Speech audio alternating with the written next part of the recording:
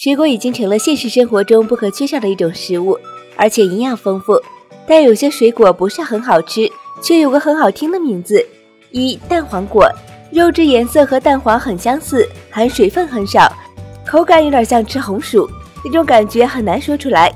总而言之就是不好吃，一般人对它没有多大好感。二、榴莲。很多人闻到都想吐，受不了那味道的人，很远就能闻到那股味道，就像街边的臭豆腐。但价格也挺贵的，有人就非常喜欢吃。三百香果，这个名字很好听，给人一种很想吃的欲望。但当你尝到之后，你可能会大呼上当，那味儿酸的跟柠檬似的，但它的营养却是很丰富的。